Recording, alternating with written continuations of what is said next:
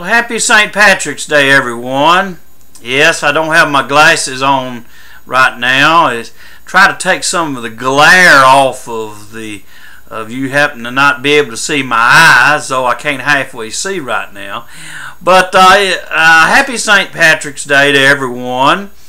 Uh, though this is Tuesday uh, evening and tomorrow is actually St. Patrick's Day, so it's an early greeting. But when you when you uh, see this video, it probably will be St. Patrick's Day.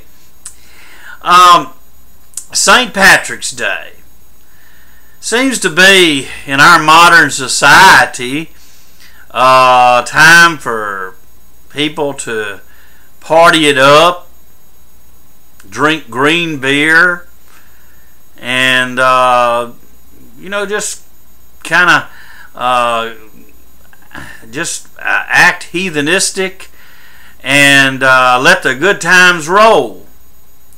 Sad, since this holiday is named after one of the greatest Christian missionaries of all time, Patrick of Ireland.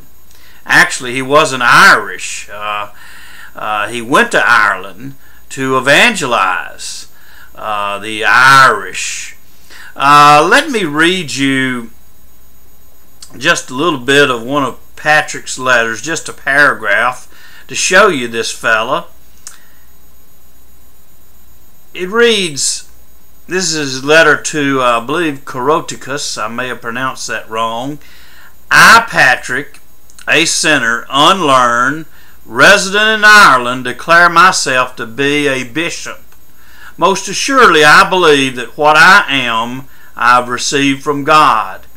And so I live among barbarians, a stranger and exile for the love of God.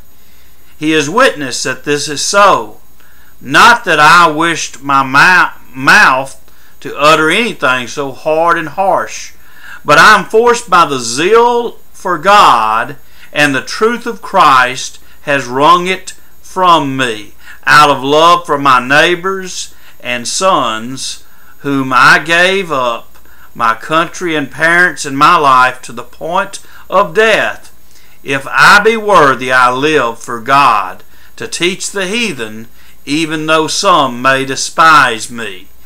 Uh, now, sounds similar to the Apostle Paul or many other great missionaries who throughout uh, the history of Christianity who gave up everything, gave up uh, the comforts of this world and taken up the cross to share the gospel.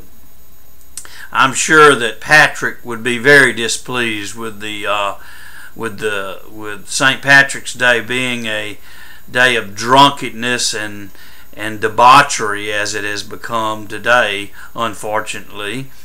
Uh, but we as Christians can remember uh, the great saint and learn from him in bearing our cross, in that uh, it's it's said that he baptized uh, thousands upon thousands of converts in Ireland and even the you know some of the legends like he drove the snakes out of Ireland uh, probably has a basis in truth. Not that he literally drove the snakes out of Ireland, but is probably a reference to the Druid religion that was predominant in Ireland when he came there with the gospel, and that through the preaching of the gospel, that Christianity increased and the pagan religion of Druidism uh, decreased because so many converted to know Christ as Savior. So on this St. Patrick's Day, let's remember the great saint who took up his cross to follow Christ into Ireland, to share the gospel, and, uh, and, and let us imitate him and let us be a witness to our neighbors uh, on this St. Patrick's Day, not to be a day of, of uh, revelry and debauchery, but a day of examining ourselves and, and seeing our need to follow His example as He followed the Lord Jesus Christ. Amen. God bless you all.